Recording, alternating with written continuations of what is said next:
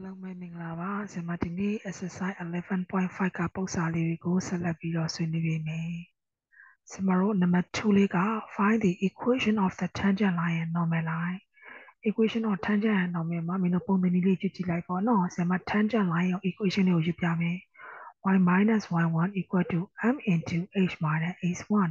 အဲ့ဒီ m ဒီ dy by dx ဆိုတဲ့ slope ကိုဆိုလိုတာ အဲ့ဒီနေရာမှာ m လို့ရေးရေး dy by dx လို့ရေးရေးကြည့်ခြင်းလို့ရေးပါရေးကြည့်တာ slope မှသိဖို့ရေးကြည့်တယ်ဒါဆိုရင်အဲ့ dy by dx ကိုဘယ်ကနေရမလဲလို့ပြီးရင်နောက်မှာဆရာမတို့ကို function ပေးထားပါတယ် y square equal to 8q ဆိုတဲ့ function လေးပေးထားတယ် implicit function လေးပေါ့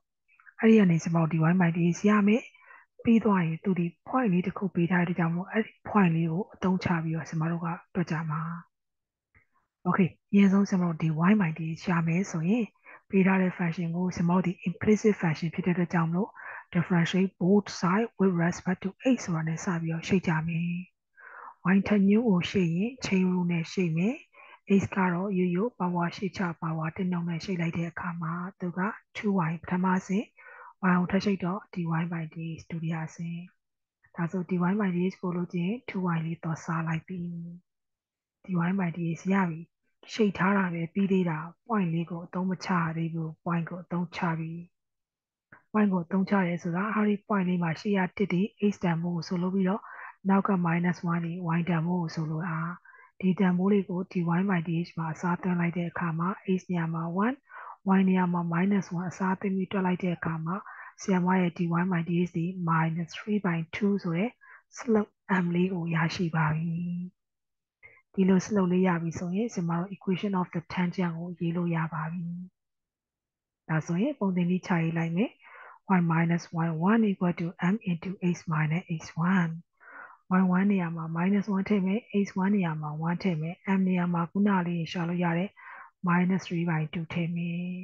။နေ့လေးသွားမြောက်လိုက်တော့ 2y plus 2 minus 3လေးဝင်မြောက်လိုက်တော့ minus 3h plus 1 y နဲ့ h ကိုတစ်ပတ်ထားမယ်ကဏ္ဍနဲ့ကိုတစ်ပတ်ထားလိုက်တော့ 3h plus 2y equal to 1ဒါ equation of the tangent equation of the tangent normally ဒီဟောဒီနေရာလေးတွေပြောင်းသွားတာ y minus y1 equal to minus 1 by m into x minus x1 စလုတ်တန်ဖိုးလေးကို negative reciprocal အနှုတ်နဲ့မြှောက်ပြီးတော့ပြောင်းပြန်လှန်ရုံပဲအနှုတ်နဲ့မြှောက်လိုက်တော့ plus ဖြစ်သွားမယ်ပြောင်းပြန်လှန်လိုက်တော့2 by 3ဖြစ်သွားမယ် ဆီယမလို့တမ်းပြီးမလုပ်တတ်ဘူးဆိုလဲ m နေရာလေးမှာ -3 by 2လေးစားသွင်းလိုက်ပါအနှုတ်နဲ့နှုတ်နဲ့တွေ့ရင်အပေါင်းဖြစ်သွားမယ်3 by 2လေးပြောင်းပြန်လာလိုက်ရင်2 by 3ပဲရလာမှာပါ3လေးသွားမြောက်လိုက်တော့ 3y 3 2လေးရဝင်မြောက်လိုက်တော့ 2h 2 x နဲ့ y နဲ့ကိုတစ်ဖက်ထားမယ်ကဏ္ဍကိုတစ်ဖက်ထားလိုက်တဲ့အခါမှာ 3y 2h equal to -5 ဆိုတဲ့ equation of the normal line လေးလည်းရသွားပါပြီ ဒါဆိုရင်ဒီနံပါတ်2လေးကိုတော့ရမယ်လို့ယူဆပါတယ်ရှိပါလေဒီလိုစင်တူပု္ပ္ပာရေးတဖို့ပြီးသားမလို့ပါ Okay number 3စင်တူပဲမလို့ find y prime y prime ဆိုတာဒီ dy by dx နဲ့တူတူပဲတစ်ခါရှိတ်ကိုရှာခိုင်းတာ h2 y2 equal to ဆင်မတို့ equation of the tangent line ထပ်ရှာရေးခိုင်းတယ် point လေးက2.2မှာ Okay ခုနပုံစံနဲ့အတူတူပဲမလို့ဆင်မတို့စပြီးရှိတ်ပါတော့မယ် ပေးထားတဲ့ implicit function ကြီးမလို့ differentiate both side with respect to x လို့ဆရာမစာရေးလိုက်ပါပြီ a2 က u tan 3x square y2 ကတော့ chain rule နဲ့ 3y square dy by dx လေးရဒီတိုင်းထားမယ် x နဲ့ y ဒီမြောက်ထားတာဖြစ်တဲ့ကြောင့်လို့ product rule လေးသုံးပါတယ်ရှေ့ထားနောက်ရှေ့ပေါင်းနောက်ထားရှေ့ရှေ့ပါ dx by dx က1ဆိုတော့ y နဲ့1နဲ့မြောက်တော့ y မော့ဆရာမ၄ဝင်မြောက်လိုက်မယ် 4x dy by dx နဲ့ 4y dy by dx တွေတစ်ဖက်စုမယ်မပါတဲ့ကောင်တွေတစ်ဖက်စုမယ် dy by dx လေးကိုပုံထုတ်လိုက်တော့ 3y square minus 4x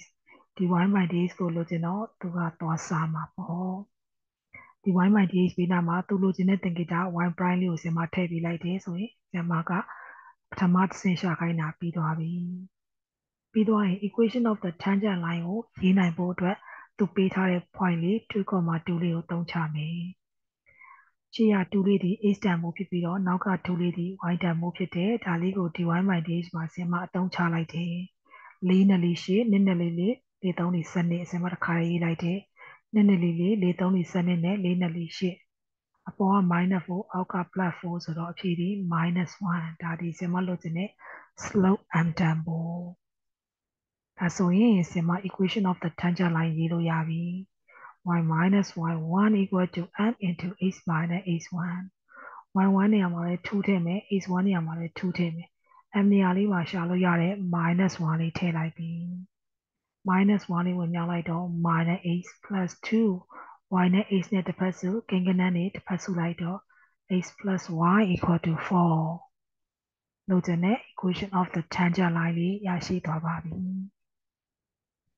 နှစ်ပုဒ်စလုံးဒီ idea အတူတူပဲ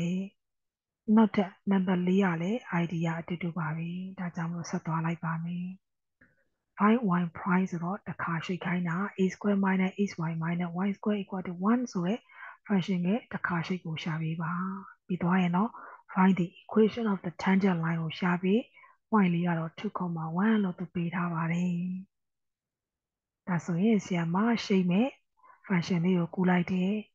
implicit function လေးဖြစ်တဲ့အတွက်ကြောင့်မလို့ differentiate both side with respect to x လို့ဆရာမရေးလိုက်တယ် a square ကတော့ 2x xy လေးကတော့ product rule လေးသုံးပြီးရှိမယ် y square လေးကတော့ chain rule လေးသုံးပြီးရှိမယ်1လေးကိုရှိလိုက်ရင်တော့0ဆီယမ product rule လေးကိုဘာကြောင့်၄တောင်ကွင်းလေးခတ်ထားလဲဆိုတော့ရှေ့မှာအနှုတ်လက္ခဏာလေးရှိလို့ဆီယမက၄တောင်ကွင်းလေးခတ်ထားတာဒါမှအထက်ကလက္ခဏာဆီယမပြောင်းပေးလို့ရမှာ 2a minus h dy by dx minus y minus 2y dy by dx ဆီယမ dy by dx ပါတဲ့ကောင်တွေကိုပုံထုတ်မယ် dy by dx မပါတဲ့ကောင်တွေကိုဟိုဘက်ချမ်းအောင်ပို့လိုက်ပြီဒါရှိမှလည်းမင်းတို့တွေ့ပြီးသားဆိုတော့ရမှာပါနော်ဆီယမအဆင့်လေးနည်းနည်းကြောင်းမယ် dy by dx ကိုလိုချင်တော့ minus 2h plus y by minus h minus 2y အကျဉ်းတဲ့အတွက်ကြောင့်မလို့ minus လေးကိုပုံထုတ်ပြီးရှင်းမယ်အပေါ်မှာလည်း minus ပုံထုတ်အောက်မှာလည်း minus ပုံထုတ်ရှင်းလိုက်ရင် y prime လေးဒီအပေါ်က minus ပုံထုတ်လိုက်တော့ 2h minus y ဖြစ်သွားပြီအောက်မှာ minus ပုံထုတ်လိုက်တော့ h plus 2y ဖြစ်သွားပြီအနှုတ်နဲ့အနှုတ်နဲ့ဆရာမတန်းကြည့်ပလိုက်ပြီ